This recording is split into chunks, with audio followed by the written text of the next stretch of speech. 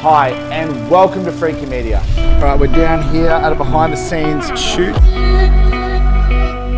with Freakki Media and Lee and Deuce. We've got the guys out. We're to get a bit of content for their Instagram and for their website and portfolio.